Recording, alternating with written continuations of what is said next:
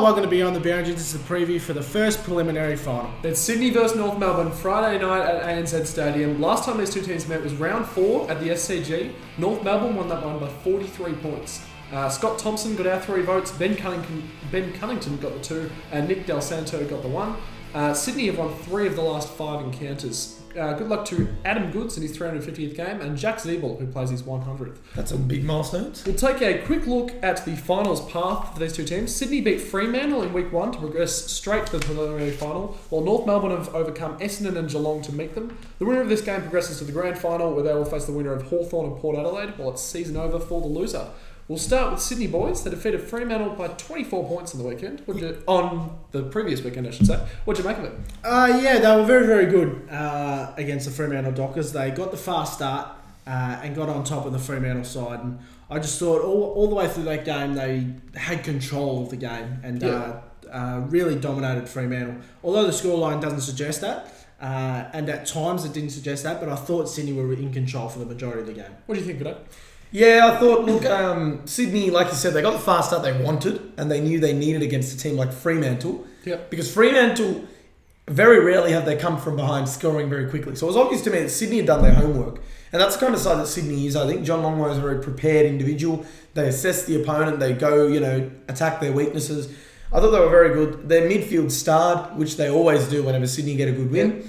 Uh, I thought their defence was spectacular as usual. Their forward line gelled well, and it's so hard to stop a Sydney team just because all three of their you know components of their of their team are so strong that if even Yeah. one of them is performing well, you know you could lose the game even if all three of yours are performing Well, well. speaking of one aspect of the side that was definitely performing well, Dan Hannebery in the midfield. He had six tackles, finished with four score assists. He was absolutely, absolutely brilliant. Well, he had a goal, four inside fifties, and twenty-seven disposals to go with that as well. Yeah. So he was just prolific. He racked up the ball in the midfield, and he was injured for a good part, and he, Yeah. he's come back, and he is it was out for about four weeks, I think it was, four Yeah. five weeks, and he's just really uh, got back into some brilliant, brilliant form. And not only has he, you know, replicated the form from last year, he's probably gone one up.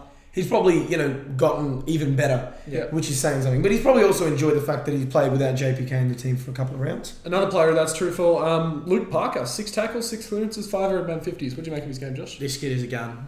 Absolute gun. Well- I, I am still regretting Essendon uh, not Well, who was that that you picked ahead of him? No, I'm not going. Say. Who was it that you, No, Nick, Nick we're, who we're, did talk- we're ahead of him? talking about Was Ariel Steinberg? It was Anyway, Ariel we'll move. Steinberg.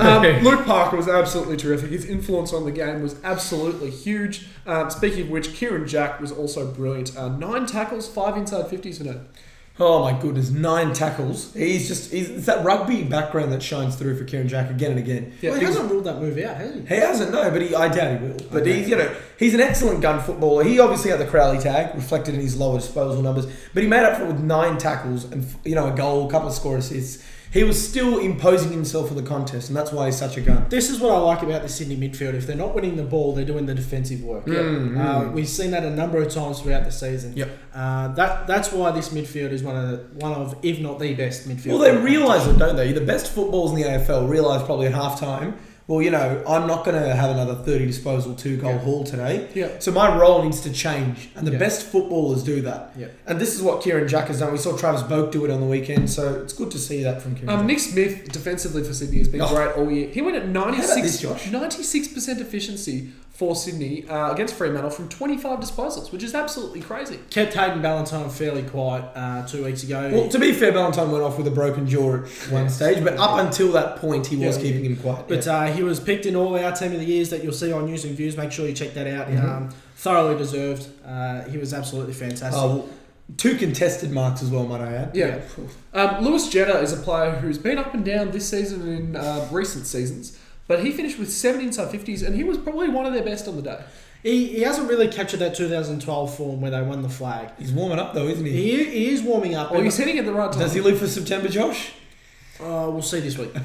we'll see this week. But um, when he gets in space, he's obviously very, very exciting to watch. Yeah. And uh, that's one thing North Melbourne have to watch. Uh, Yeah. If Lewis Jetta gets into space, it's it's game over. Well, he's the kind of player that, although he may not be in his superb form of 2012, He's the kind of player that even so, even still, you can't bank on that. Yeah. You can't bank on him being like, oh, you know, Jetta, he's not in the best of form. He'll, you know, we'll be Don't okay. worry about him. Yeah. Yeah, you can't do that because he's the kind of guy that you see here. He'll cut you up on his He's, he's the type of player that reminds me of someone like a Stephen Hill from Fremantle, or Daniel Wells from A North Motlop from Geelong. Motlop yeah. from Geelong that can just do something special to change the course Yep. of a game. Yep. Cyril Rioli as well, throw in there. Just do something to change the game, and Yep. Lewis is one of those players. Guys, we're talking about the bottom six players of the club needing to stand up to win a final, um, win those really tough games. Jake Lloyd was absolutely terrific for Mm, yeah. Sydney. Um, he had 24 disposals, seven marks, four tackles. He did it all um, against Fremantle. Absolutely. Uh, I cannot believe that this kid has come in and, and slotted in so perfect. How many games has he played for them now? You know? Uh, 16, I think. Okay, yeah. 16. So uh, he won a uh, NAB Rising Star nomination during the year. He's come through that Sydney Swans Academy. Um, they're going to get another one this year in Isaac Heaney. Oh, he's an 18. absolute freak. Uh, that kid. this- I've watched him. While, while they've Oh, got this academy, um, it's proving wonderful. It's really just it's driving me nuts. Where um where do these kids bob up from, and why are they all It's the, it's the time and development that they put but into why them. are they all in New South Wales? Where what are what is It's this? the breeding ground. Some of the It best is. come from there. He's an absolute gun Jake Lloyd, and he's just moulded into that Sydney kind of shape, hasn't he? Yeah. And you mentioned Isaac Heaney. We'll get into you know him more in the preseason stuff that we'll be doing, but he's an absolute star, boys. Yeah. Um, two more players we'll have a quick mention to. Um, ben McGlynn came back into that side, four clearances, three goals. He was terrific. And Lance Franklin um, almost broke that game apart, as he always threatens to do when he doesn't. He had seven marks and kicked three goals, three. Just before we go into North Melbourne, boys, Nick Malceski are likely out for Sydney with that hamstring. Yep. Um, he's probably about oh, 30, 70 at this stage. Still a rough Would- chance, but Would Tom Mitchell squeeze in that side? Like I Oh, know, I know, surely. I know Malceski's like a Oh, rebounding no. halfback defender, but I don't care to be honest. surely Tom Mitchell will find a way to come back into that you'd, side. you'd think so. I mean, he wa- he was best on ground in the NEAFL Grand Final. Well, he won the medal. Absolutely phenomenal, by the way. He- I wa- watched that last quarter today. That was Yeah. fantastic. Well, I think what's called the John Island Medal, is it not? Andrew Island. Andrew Island. He had 30 disposals, 10 tackles, 11 clearances. Yeah, he was absolutely fantastic. You'd think he'd be the man to come in, but Like- Shane Biggs, Brandon Jack, and Dean Towers are all very This stage of the season, you don't want to be changing your structure for a prelim final, but I think you'd make an exception to bring an extra midfielder in when he's in that kind of form as Tom Mitchell is. So you got to bring Tom Mitchell in. I don't care what you say. He could be. He could be. Oh my goodness. Moving in, on to North Melbourne boys, uh, they defeated Geelong by six points on the weekend. Yeah, yeah, thanks. Um, what did you make of it, boys? I thought North Melbourne, um, their start was really the key to that game. They were absolutely exceptional in that first quarter. Lindsay Thomas was terrific. We'll get touch on him in a sec.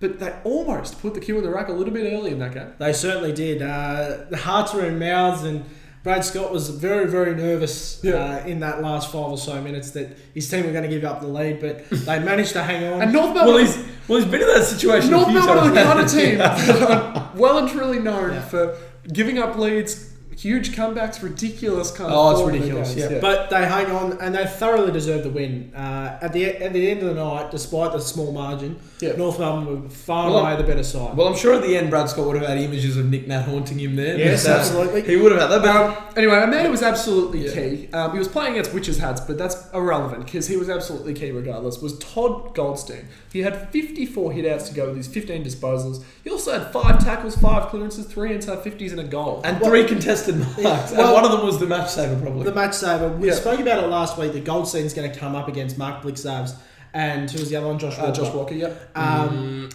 it, we knew that this Todd Goldstein would want to take advantage straight away, and that he And he did. did. He Yeah. had, I think, early on in the first five minutes, he had six headouts and four touches. Yeah. He got his hands on the ball early and said, "I'm going to take this game by the scruff." of the well, well, Todd and he set them up from the beginning. He skipped dinner that night. You know why? Why? Because he was full after that performance.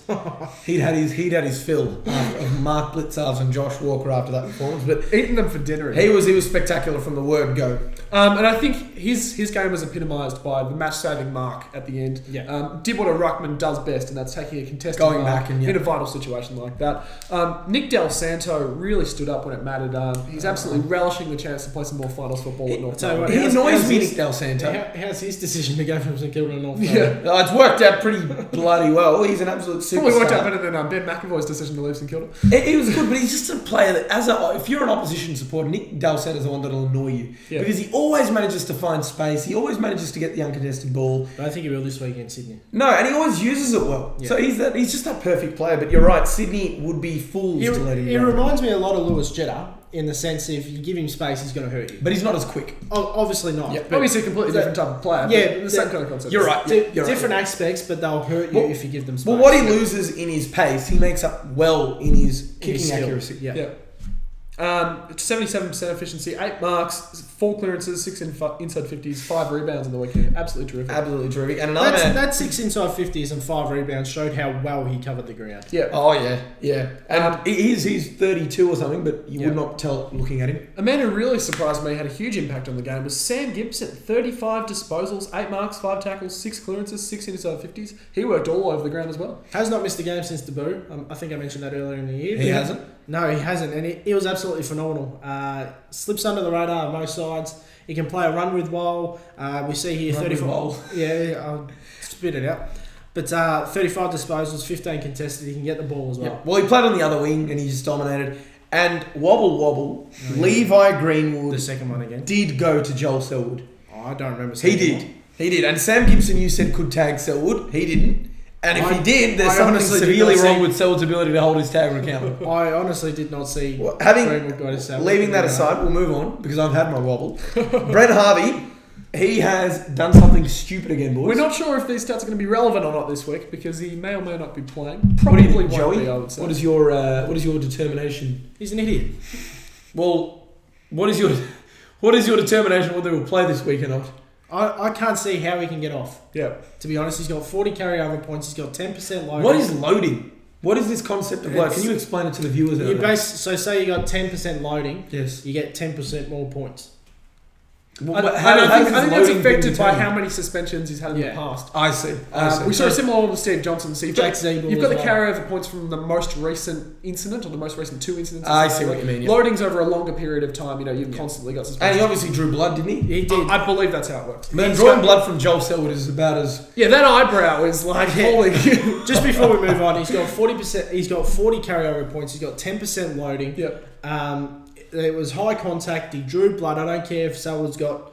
Uh, well. To be fair, a, a zephyr of wind could probably draw blood from I that don't care. I don't care. He's drawn blood. Yep, it was yep, off yep. the ball. It was head high contact. I cannot see how he plays this week. Um, he's, he's he's done a foolish thing because he played well. Twenty five touches at ninety two percent efficiency. Six inside fifties. He'll be vital if he does play. a goal. He'll a be kicking score himself assist. if he doesn't. Anyway, Yeah. we're going to move on. Drew Petrie took seven marks, uh, three inside fifties, four goals, four. Really was let off the chain in that game. And Jack Ziebell was terrific once again. Um, not so much as a midfielder, only had 13 disposals, but six marks, eight tackles. Really worked his way into that game. Finished with two goals and two scores. Well, I really think Clutch goals. I think Brad Scott is getting the best out of him now, Yeah. finally, because they've experimented with him in the midfield, they've experimented with him on a wing, off Yeah. half back.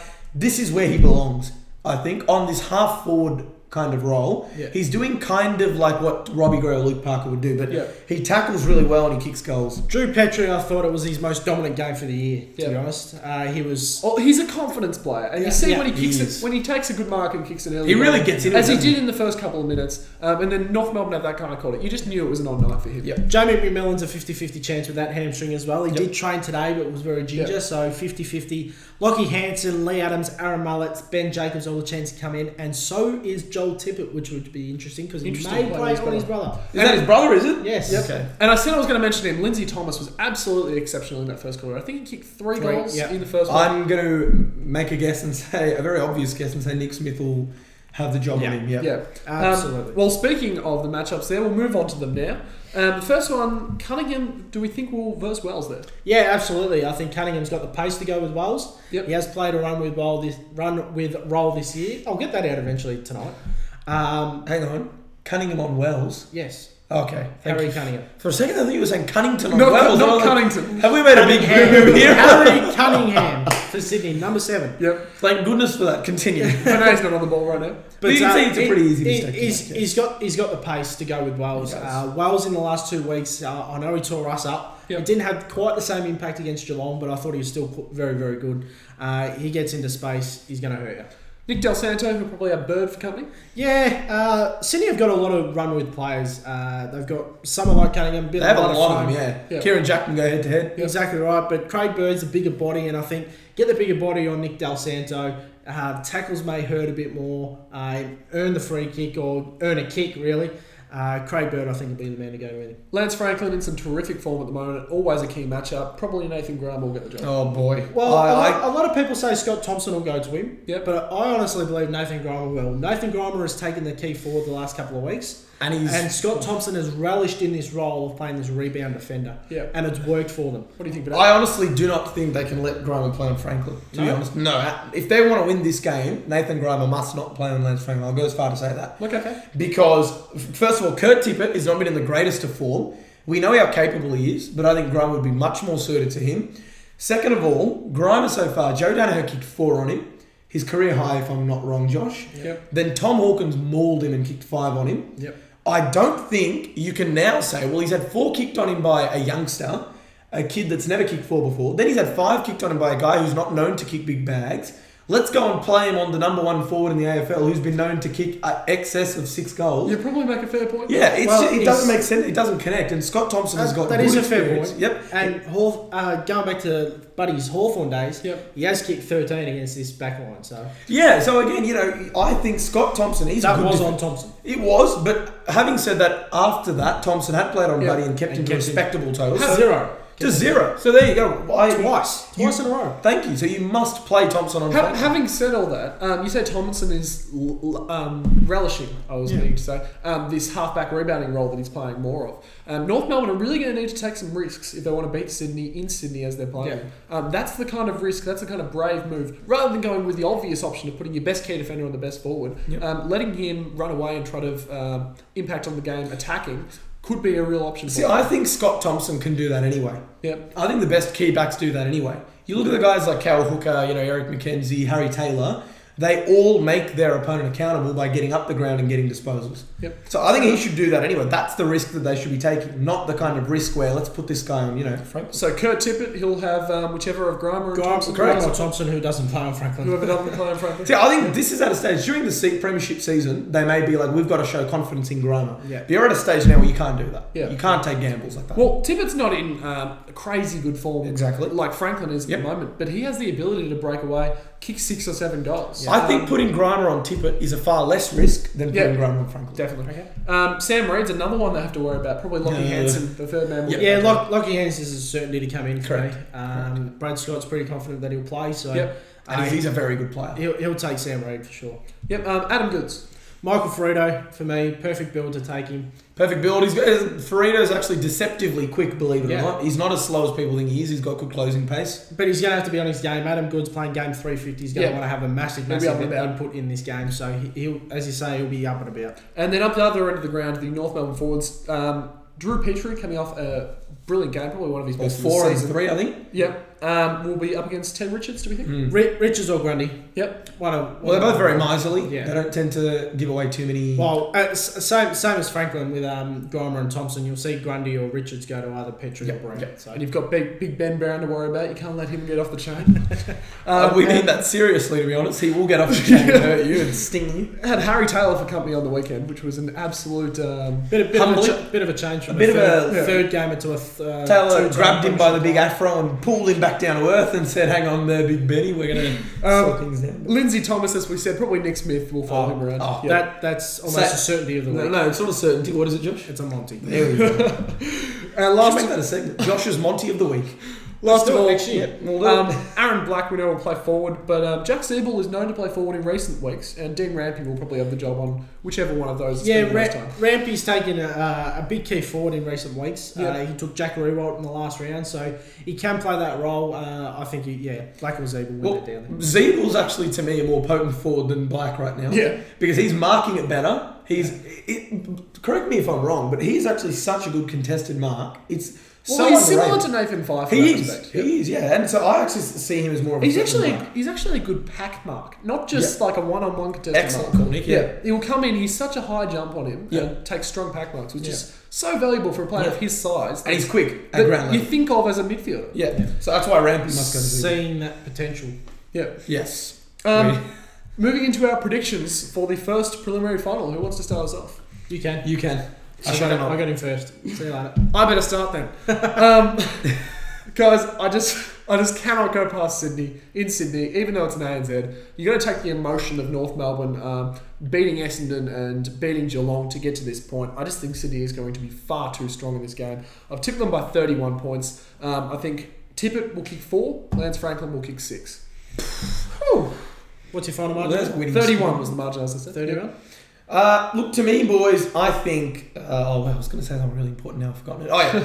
ANZ Stadium is not Sydney, as far as I'm concerned, because the way Sydney play there doesn't suggest to me that it's their home ground at all. They play, you know, ANZ Stadium, you may tell me it's in China, and I believe you, because it- there doesn't really seem to be any home ground advantage. Sydney don't like playing there. They're forced to play there again. A lot of their upsets happen there.